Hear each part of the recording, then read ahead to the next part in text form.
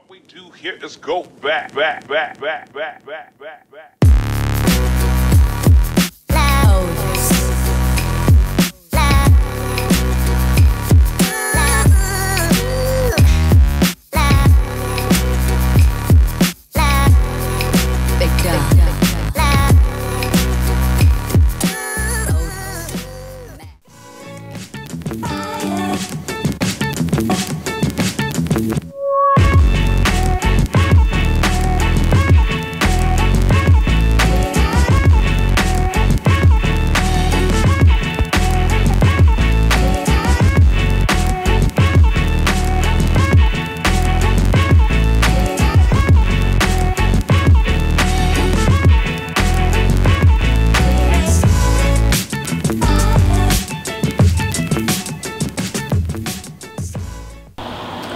Hi everyone, I'm Kieron the Barber and this is Tom aka Tommy Puppet. Today we're going to go through some um, clipper maintenance. with what we're going to be using Andis Cool Care Plus Spray and Andis Clip Oils, Clip Oil. Please give us a like, subscribe, follow, comment if you do it a bit differently. Let us know what you all think. Thank you. What's up guys? Today I'm going to show you how to clean the Slimline Pro LIs. In my opinion they're one of the best mini trimmers. They're cordless, they're cut the sharpest, they're the best I've ever used. And the, I use these a lot, every day. And what I do, as you can see they're a bit dirty.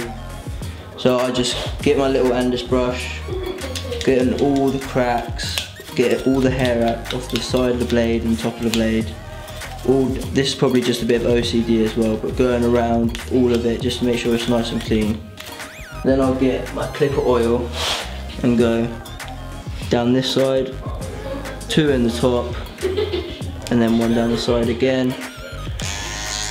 As you can see here, it's fully charged. I haven't charged it all day. And then I give that a nice wipe over with a brush to make sure that oil is all off. And to make sure every bit of hair's out, I'll spray a bit of Cool Care Plus in the blade, give it a shake, and then one more wipe over, and then they're good to use. Right guys, first thing I'm going to start cleaning. I'm going to clean my US Pros. They are the clippers I use day in, day out, every day. It's my clipper what I've had for a year and a half. I haven't had to change them because I do look after them. Now what I use to clean it, I use my Andis um, small sort of cleaning brush as such. What I do is I literally clean off the clippers. It's literally as simple as this. It's just getting in there, cleaning all the blades, making sure all the little hairs are out.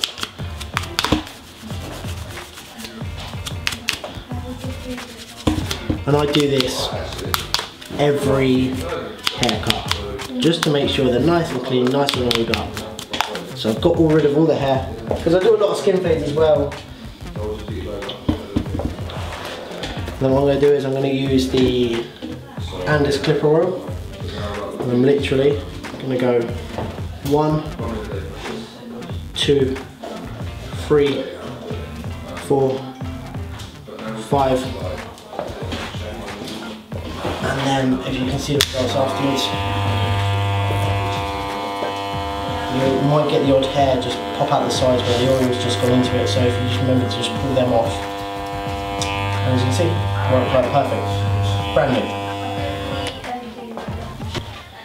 So guys, as you can see, um, the, this is my Andis sort of cutting comb as well as slight sort of scissor over comb. This is my Andis clipper comb. Now everyone gets this in their clippers where the tooth, the little teeth get really, really, really dirty. As you can see, they're caked in hair. Same with this one. It just gets absolutely caked in hair when you fade them. So what I'm going to do now is I'm going to completely clean them off and I'll show you how to do that.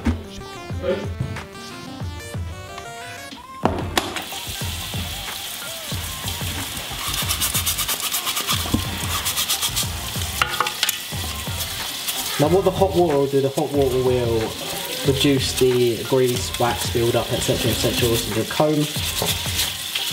So it comes off a little easier with hot water. And I'm using a nail brush because it just gets right in there, in these cracks. So what I'll do after that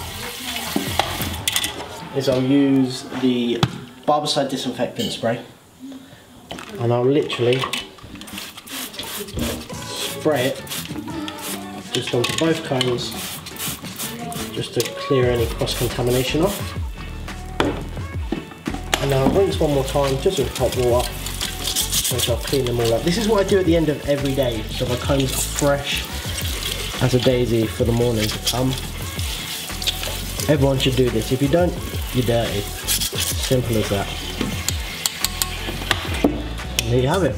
There are my two clean cones. Ta-da!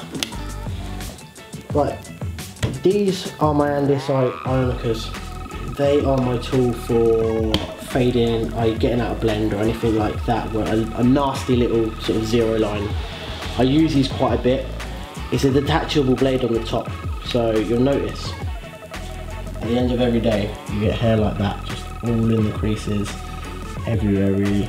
So what I'm going to do is I'm going to show you how to get all of that out and then oil them all up, make sure they're nice and fresh for the morning. Again, as this is a detachable blade, it comes off, so you can literally warm water, hot water even, I just burnt my fingers, hot water just in there, all around the blade. Again, nail brush, making sure you've got all the hair off of it. As You can see on the see on the sink, there is hair coming off of it. I'm getting out. Again, one more with that, just that what I'm going to do is barbicide again just to disinfect it for the night.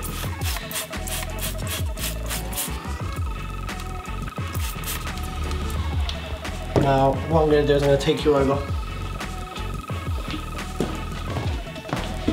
through the marvellous shop. Hairdryer.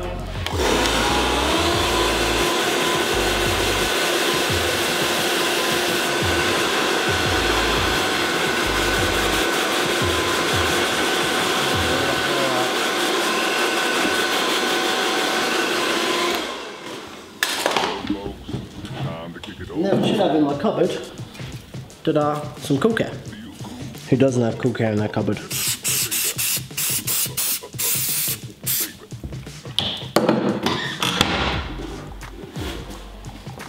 A little bit of tissue. Just make sure it's not oily.